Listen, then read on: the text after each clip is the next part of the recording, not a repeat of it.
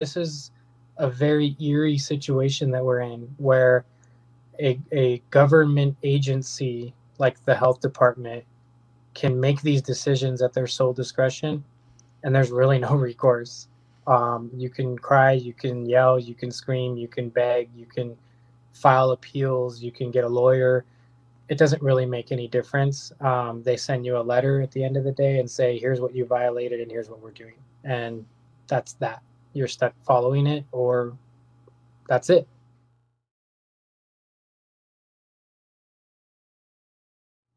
but so you feel like there's no recourse for you there in California. Where, where does that leave other business owners in the state? Are they in the same situation? If they file yeah. the appeals and things like that, they're all just. And you said there was no funding in California to help bridge the gap. In the meantime, you have to go seek out your own funding. Was my understanding? Yeah, not currently. Um, there's been things that I think Gavin Newsom said that they were going to do, but it's all it's all just talk for the news. Um, there aren't any programs that have been offered or given.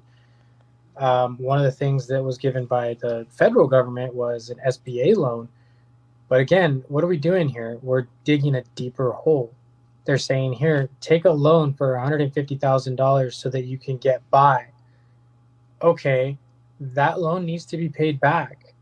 Now you're on the hook for something that's going to take 30 years to, to pay back over an eight month, nine month pandemic, we've created a hole that's going to take now the rest of our lifetime to repay. I don't understand the thinking behind that. Getting a loan to pay bills that are due is not going to help a business because now not only do I have to recover, find a way to profit, I have to find a way to profit and pay back a debt that was created during this pandemic it's unbelievable. I, I don't know what our government expects us to do with any of this.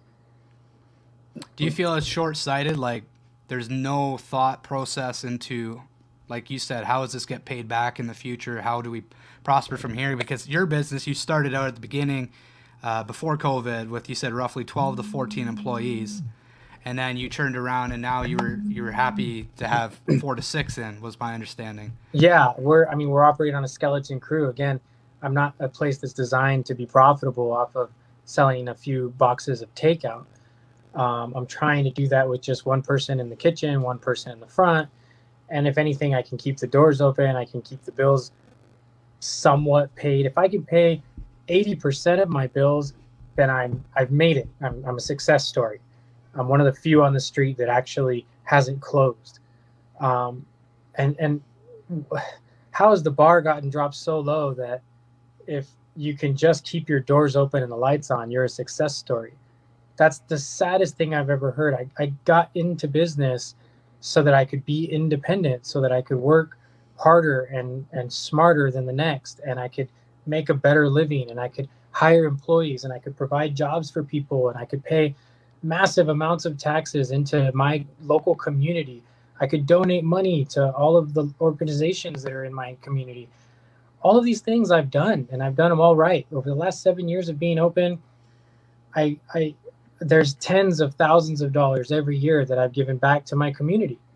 I've, I've given back my profits. I've given back in the form of donations. We've done golf tournaments. We've given beer out for different events, for different you know rotary events and golf tournaments for you know police funding and all these different things that i want to be a part of because i love my community and now here we are as the outcasts uh, nobody cares honestly nobody cares they they do not care if the restaurant closes forever the health department doesn't care they look at you and they shake their head and they say this is the rule and you either follow it or we close your door and if you don't close your door, we're going to keep piling on the fines. We're going to revoke your permit. We're going to file legal proceedings against you.